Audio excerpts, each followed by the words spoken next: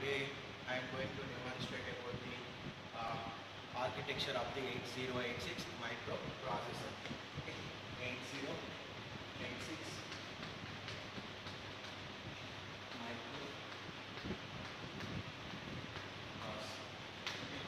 Microprocessor is nothing but it is a IC that has all the operations of the same as the CPU. Okay, microprocessor is a IC integrated circuit. Okay, it is part of the CPU. Okay, microprocessor another definition is it uh, performs micro operations during machine cycle. It performs micro operations during machine cycle. Micro operations are nothing but the execute the instruction, okay, complete instruction by using the three operations, fetch, decode and execute. Okay, these three operations performed by during one machine cycle. Machine cycle is nothing but the combination of the clock pulses. That is the basic definition about the microprocessor. Coming to the 8086, okay, uh, the 8086 is manufactured by the Intel, manufactured by the Intel, manufactured by the Intel. It is a 16-bit processor. 8086 is a 16-bit processor. If you say any processor is 16-bit, the basic default thing is the it consists of 16-bit ALU, it consists of 16-bit ALU. Most of the registers are, most of the registers are 16-bit. Most of the registers are 16-bit. It can able to store the data up to 16-bit only. Data storage in registers is 16-bit. Data storage in register is 16-bit. Okay, 8086 is 16-bit processor. By default, if you say any processor is, suppose I am saying, by one processor is X-bit processor. It means it consists of X-bit ALU. Most of the registers are X-bit. Okay, same as it has data bus width of data bus width of the width of the 8086 is 8086 is 16 bit address bus width address bus width is 20 bit address bus width is 20 bit okay 8086 has data bus width is 16 bit that is nothing but D0 to D15 it consists of 16 data lines D0 to D15 consists of address bus is 20 bit. 20 bit that is nothing but A0 to A19 okay? Once you know the address bus width you can able to calculate the maximum storage capacity of the processor. Okay? Maximum storage capacity. Capacity of the processor by using the formula 2 power address bus width 2 power address bus that is nothing but the 2 power 20 2 power 20 is nothing but the 1 MB 1 MB 1 megabyte.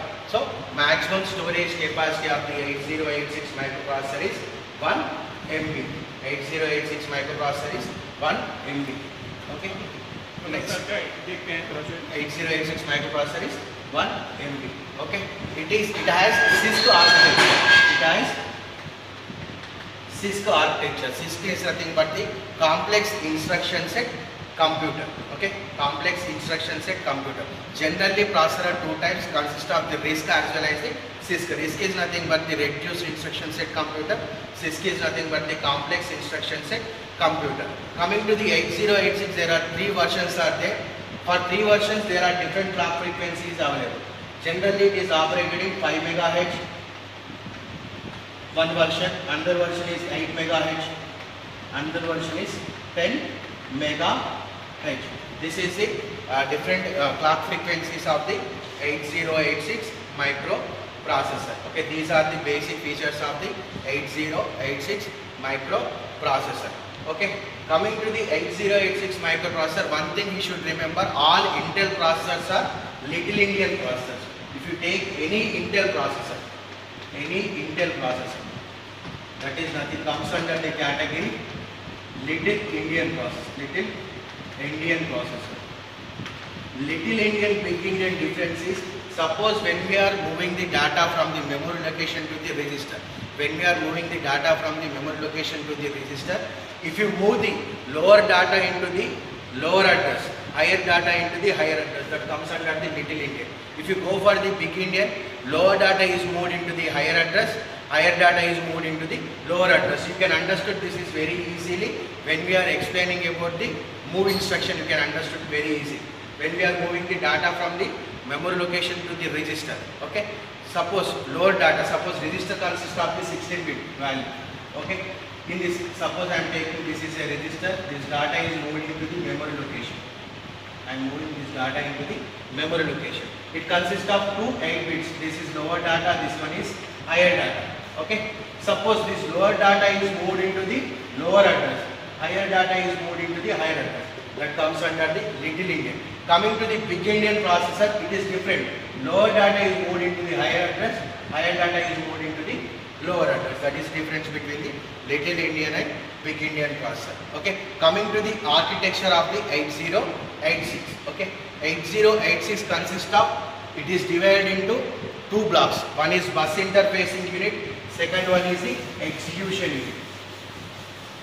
Okay. If you see the architecture, if you see the architecture of the 8086.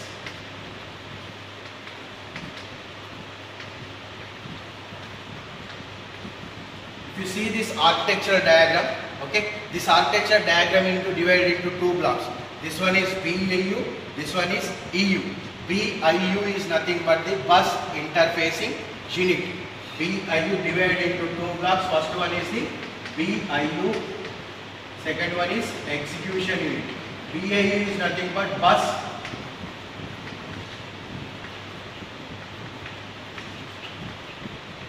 unit. EU is nothing but execution unit. Okay, 8086 architecture divided into two blocks, BIU and EU. Suppose if you see the first we should know the what is the functionality of the BIU, what is the functionality of the EU. If you observe the BIU, what are the blocks it consists of? It consists of this is nothing but the summer. This is nothing but the summer. Okay, if you see the BIU consists of one summer, it consists of the instruction queue. Also, it consists of the segment registers as well as the instruction pointer. It consists of the segment register, code segment register, data segment register, extra segment register, stack segment register, and instruction pointer as well as instruction queue. Coming to the uh, execution unit, it consists of the uh, general purpose AX accumulator, BX base register, CX count register, DX data register, another base pointer register, source index and destination index. Okay.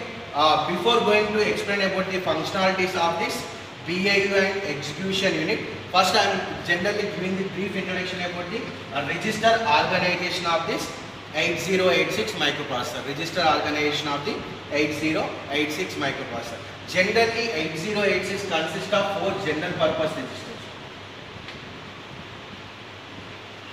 General purpose registers. Okay. Each register capacity is 16 bit register. Okay. It consists of four general purpose register. Each register is 16 bit register. These registers are AX, BX, CX and DX. AX is nothing but the accumulator, base register, CX is count register, DX is data register. Each register capacity is 16 bit. These 16 bit register can be used as two 8 bit registers. Okay, how we are going to use two 8 bit register? This AX is divided into two 8 bit register that is nothing but AL and AH. AL is 8 bit, AH is 8 bit. BL and BH, CL and CH, DL and. These register can be used as two 8 bit register. Coming to the accumulator. Accumulator. Generally, after performing the arithmetic and logical operation, generally we are storing the result is in accumulator. AX is nothing but the accumulator. Generally, accumulator is used to store the result. Okay. Next, coming to the BX register. Base register, it is a 16 bit register. Okay. It is used as a general purpose register as well as suppose we are using two operand, one of the operand is stored in this BX register. It is also used to store the offset address. Okay. Base register is used to general purpose as well as we are storing the offset address. Next, CX register is nothing but the count register. Okay, count register. In this count register, we are storing the count value. Okay, what is the count value? Generally, if you know how to write the programming in C. Okay, in C program, uh, when we are using the loop, suppose several lines of uh, program lines are, if you want to execute several times. Okay, some five to six lines. If you want to execute those lines several times, those instructions are kept in one loop. Okay, how we are writing in C.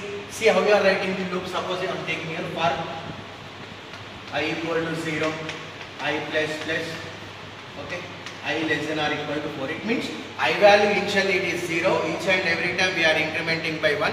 When we are going to terminate that loop, the i value is verified this value, okay. If i value is less than or equal to 4, up to that value that loop is repeated. If i value is greater than 5, the loop is terminated. Coming to here also, in assembly language program, in 8086 programming, where we are the loop count value is stored in the CX register. In CX register, we are storing the count value, count value during loop instruction. Okay, loop instruction. How we are going to terminate the loop? Okay, the basic fundamentals of the loop instruction is once loop instruction is executed, counter value is decremented by 1. Okay, once loop instruction is executed, counter value is decremented by 1. When Cx value, when count value equal to 0, the loop is terminated. Suppose I want to repeat, so I want, I am writing a program, I want to repeat these two instructions, I am writing here, I am writing these two instructions, I want to repeat for 4 times.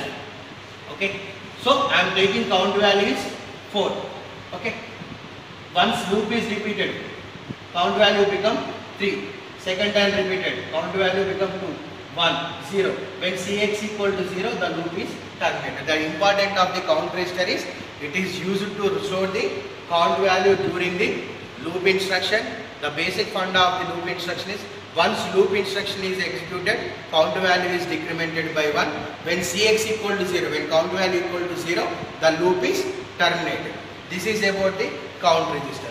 Next coming to the data register. Okay, this is also a general purpose register. It is a 16-bit register. The main use of this data register is it is used as the general purpose. Suppose when we are uh, doing arithmetic operations, when we are doing the multiplication and uh, division.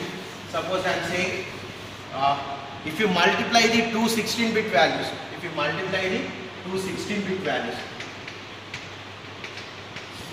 if you multiply the two 16-bit values, the result must not be more than 16 bit. More than 16 bit. If you observe the each and every register capacity, accumulator capacity is 16 bit only. Okay. If the result is more than 16 bit, where we are storing that data, the data, the most significant data is moved into the DX register. In case of 16 bit multiplication, if the result is more than 16 bit, okay, lower 16 bit data is stored in the AX, higher 16 bit data is moved into the DX register. Okay. Coming to the division. When we perform the division operation, suppose I am taking, if you perform division operation, we are going to get the two results. One is the quotient, second one is the remainder. Okay. In case of the 16 bit, in case of the 16 bit division, always quotient is stored in the AX, remainder is stored in the DX. Always quotient is stored in the X, remainder is stored in the DX. This data register also known as the extended accumulator. Extended accumulator. Okay. If the result is more than 16 bit, the extra data is moved into the this data register. Okay. This is about the general purpose register. These registers are we are using in execution unit. Okay. Next coming to another type of the special purpose register. The special purpose registers are segment registers, pointer registers and index registers. It has three, uh, three different types of the special purpose registers. One is segment registers,